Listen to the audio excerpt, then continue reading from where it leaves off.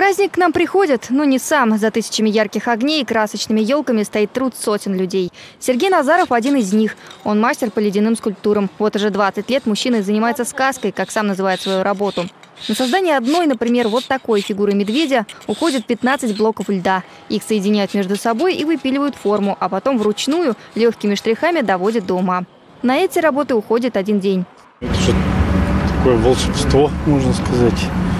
То есть мы из воды, из твердой воды выпиливаем скульптуры. Сейчас вокруг ледяных фигур еще нет ажиотажа, но еще немного времени, и они разукрасят социальные сети самарцев и гостей города. Массовые новогодние гуляния в этом году отменены из-за эпид-обстановки, но времени скучать у самарцев точно не будет. Праздник для глаз, а значит и души, обеспечит разноплановые фотолокации и активный зимний отдых, горка и два традиционных катка. На площади Куйбышева, равно как и на других городских общественных территориях, будут созданы условия для отдыха и прогулок на свежем воздухе, для занятий физической культурой и спортом. На площади находятся два наших катка.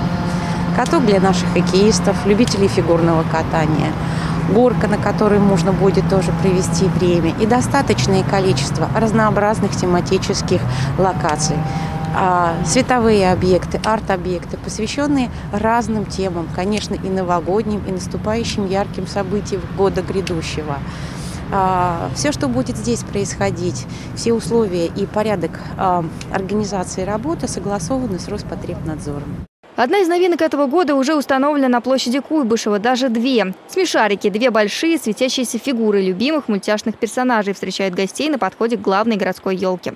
Герои не обычные, а интерактивные с помощью специального QR-кода. На экране смартфона появляется знакомый персонаж. Елки-иголки!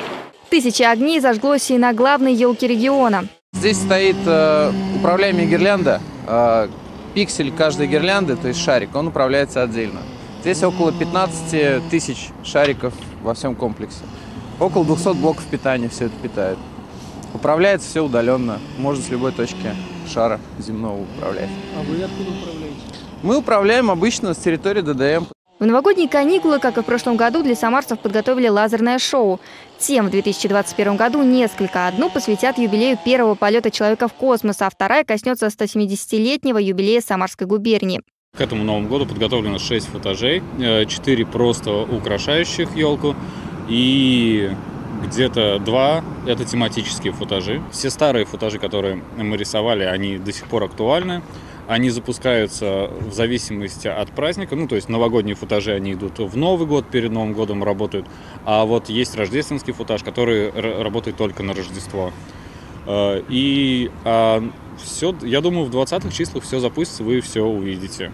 Уже сейчас самарцы радуются предстоящим праздникам. Приехал, посмотрел, очень сильно зарядился в плане того, что тут так все красочно, ярко, и потом посмотрел, как у нас еще тоже делали. Настроение просто бум, как бахнуло, прям вообще очень понравилось, все. Мне нравится, я каждый год езжу смотреть, ну, я вообще из Новокобышска, и каждый год я езжу смотреть на, особенно вечернюю вот эту иллюминацию самарскую, мне всегда очень нравится, это очень красиво и прям поднимает настроение новогоднее. Самара преображается с каждым днем. Специальные тематические фотозоны уже появились во всех уголках города. Мария Левина, Сергей Кизоркин, Константин Головин, Максим Гусев. События.